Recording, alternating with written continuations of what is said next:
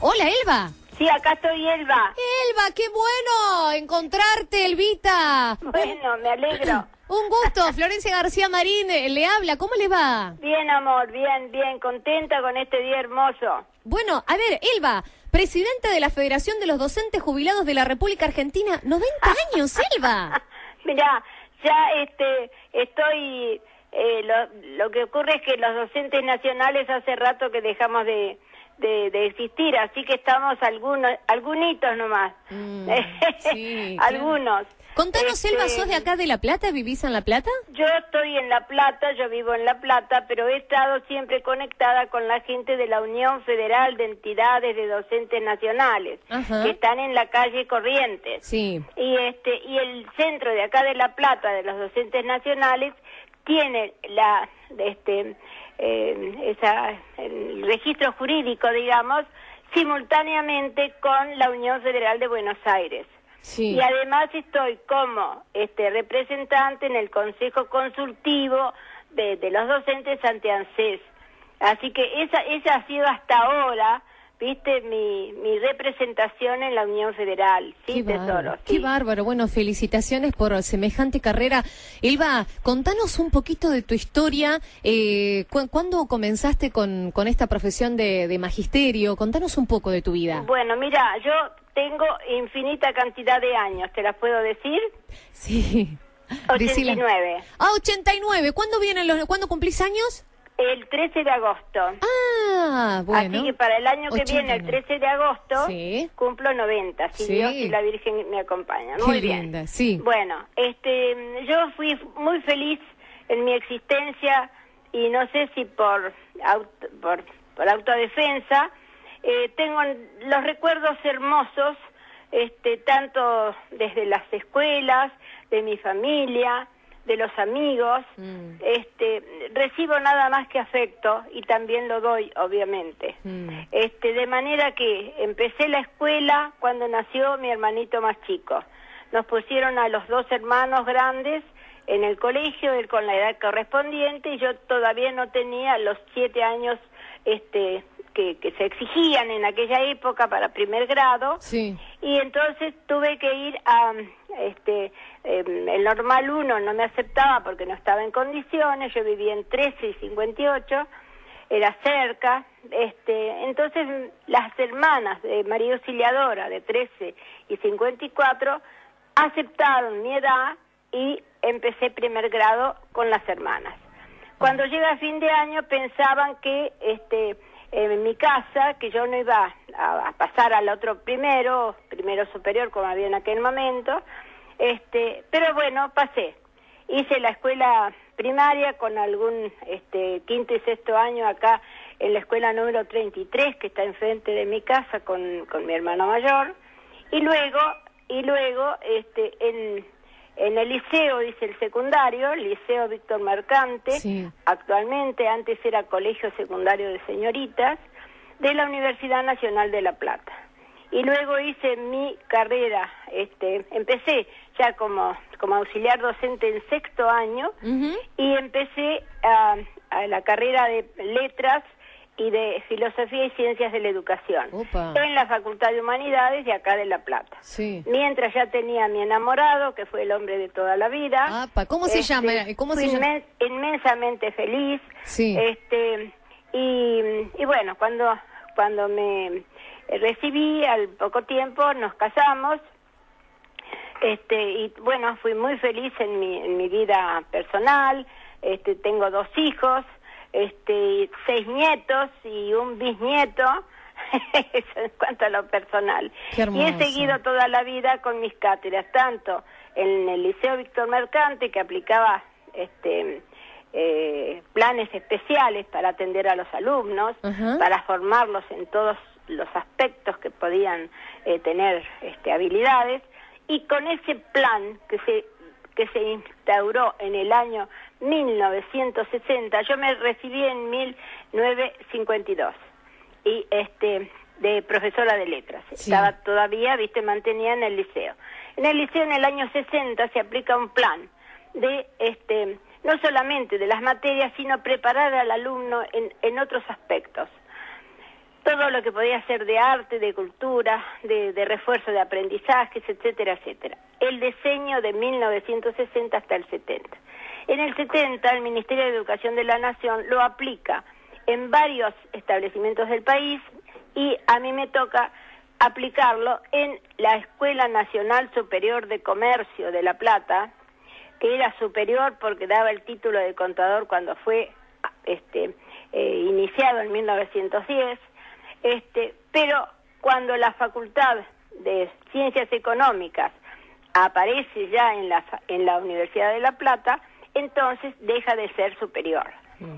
Y este, en esa Escuela Nacional de Comercio de La Plata se aplica desde el año 1970 hasta el 90 y pico el plan de profesorados de tiempo pleno, el llamado Proyecto 13 de Educación, que fue la gran conquista y que alguna vez volverá, mm. atendiendo a los alumnos de una escuela nacional común este, en todos sus aspectos.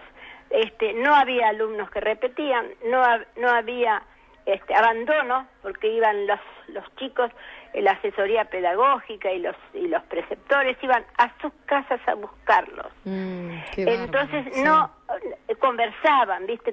trataban de solucionar los problemas y, y no teníamos deserción. Eso fue.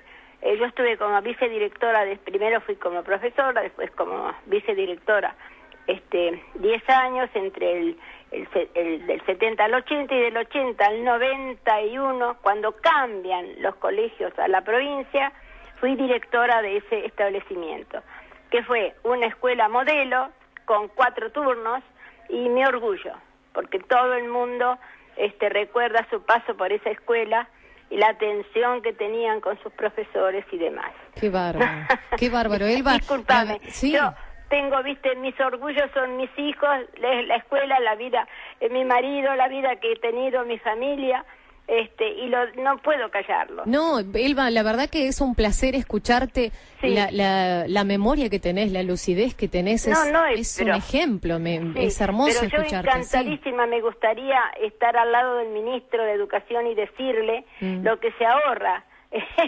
En, eh, aparte no de, la situación que no estoy para nada alejada de lo que es la realidad de nuestra existencia como como república como república argentina. Pero este son tiempos. Yo he vivido tantos años con avatares de de, este, de subidas y, y bajadas pero bueno en este momento es este un, uno de los momentos difíciles de la República Argentina. Y habrá que irlo solucionando. Este, pero en educación y en salud, por ejemplo, este, bueno, hay que eh, reforzar, ¿viste? Y atender a la gente. Mm. Este, así que bueno, en lo eh, que quieras saber, estoy a tu disposición. Eh, ¿qué, fue lo que te llevó a, ponerte a estudiar letras, a ponerte a estudiar esa profesión? Mira, además de eso escribo.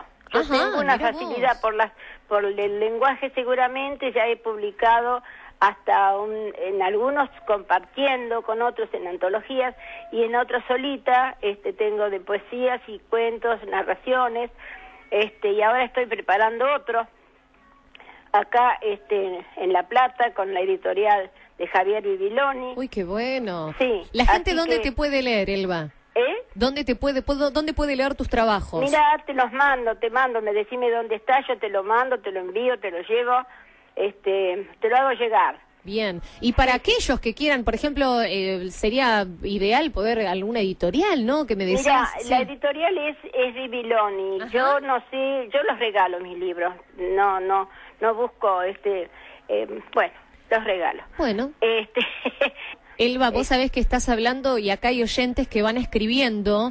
Y, por ejemplo, acá dice Jorge, gran persona, muy buena directora del Comercial de La Plata, soy egresado del Comercial. Otra de las oyentes dice, escuchando la radio, me da mucho placer escuchar a la directora, ya que yo estudié ahí y estoy orgullosa. Ah, eh, dale, la escuela, eh, bueno, dice que Karina con el 466. Bueno, ah. mira, eh, ¿cómo, cómo que tiene la gente? Exactamente. Vos, calculá que, este, que nosotros teníamos un, un turno de más, el, el, el, turno vespertino, porque era mañana, tarde y noche. Mm. La noche en la escuela de comercios tenían que tener Ese fue un consejo que me dio el vicedirector Muschietti cuando yo entré como, como profesor y como posible vicedirectora, qué sé yo, o directora. Este, eh, en el año 80 me dijo, el turno noche tiene que tener los mejores profesores, no los que más o menos o sí, sí o sí no, porque la gente de la noche tiene los conflictos más grandes. Mm, Mira, fue un consejo tan sabio, tan sabio, y, y, tengo recuerdos de los docentes que han estado en el turno noche. Eh, era una escuela modelo, fue modelo en el país, hicimos viajes, este, intercambios internacionales con las profesoras de francés, con Senegal, con Inglaterra, este, mira, fue realmente una, una este, época este, muy feliz de mi vida. Elba, me gustaría que para ir cerrando esta charla, eh, por cuestiones de tiempo, pero me gustaría cerrarla de esta manera. Primero, que nos des un consejo eh, a los docentes. Yo soy docente, me gustaría escuchar qué consejo con tu visión de tanta trayectoria, qué aconsejarías a los docentes en, su profesión y por el otro lado, qué aconsejarías a los estudiantes, aquellos que están estudiando. Bueno, mira, a los docentes que cuando algún chico molesta, que es, que es un consejo que me dieron a mí y yo también lo apliqué, acercarse al alumno y no gritar, y no gritarle desde el frente. Eso, este, atender sus, sus problemas, tratar de solucionarlos. Es difícil en este momento hablar con lo que yo me formé, porque yo no estoy ahora en la escuela y yo sé que la vida eh, este, social, la, la, la, la familia, está mm, este, difícil. Mm. Entonces lo, lo, eso lo comprendo. Pero yo digo que el docente tiene que estar siempre dando y dando amor y dando igualdad de afecto a todos, no este porque es esto, porque es lo otro, viste, discriminarlo. Este, yo pienso que el chico va a la escuela falto de afecto y entonces es el maestro, es el profesor, es el docente el que tiene que darse y tiene que ser hábil para saber qué es lo que pasa. Mm. Yo sé que me protestarán y me dirán, ah, usted no sabe los alumnos que tenemos, tal vez, yo no estoy en este momento en la escuela pero sí este sé cómo cómo llegar, cómo llenar el afecto, mm, ¿viste? Qué bárbaro. Este, siempre me parece que hay una manito que te que se extiende pidiéndote eh, un, cariño, aunque sea. Hermoso. ¿Y a los estudiantes? y a los alumnos que jamás abandonen el estudio, que hagan, tienen este, las posibilidades de todo lo que se les brinda en las distintas carreras, en los distintos turnos, en los distintos lugares. No hay excusa para no ir a la escuela. Así que, por favor, que no falten, que no abandonen sus estudios. Lo más importante es, aunque el profesor los, los aplace o, o les diga que no sirve lo que hicieron, lo hacen de nuevo. Y que recuerden los versos de Alma Fuerte, de Pedro de Palacios. A mí no me ha derrotado nadie. ¿Eh? este y, y, volver eh, la derrota solo ha servido para hacerme más fuerte más optimista mm. más eh, idealista ¿Eh? Elba, qué placer este, escucharte. eso es lo que va para los alumnos. Eh, siguen, siguen llegando mensajes, así que después en un ratito los vamos a, ir leyendo al aire. Elba, gracias por esta comunicación. Cuando quieras, o aquellos que estén interesados en leer los escritos de Elba, nos van avisando y tranquilamente los podemos hacer llegar a la radio acá en 44 entre 2 y 3. Elba, 44, 2 y 3 en La Plata. Exactamente. exactamente. Bueno, amor, yo te, yo te voy a hacer llegar ahí mis libros. Bueno, bueno, después cualquier cosa vamos hablando con, con, la producción, Elba. Ya tenemos tu número registrado y también tenemos a Mechi que nos ha dado el contacto. Elba, que tengas un excelente día, felicitaciones y un placer escucharte. Bueno, gracias, gracias. Que tengas buen día. Adiós. Y ahí está, ¿no? Con ella es como el moñito, como el, el cierre de este día tan especial. Elba García Rubio, Pichona, ¿sí? Eh, bueno, ella es presidenta de la Federación de los Docentes Jubilados de la República Argentina, 89 años, 89 años, y la cantidad de mensajes que siguen llegando en relación, y son, ¿no? El fruto, el fruto de todo lo que ella ha sembrado, como bien dijo, con tanto amor.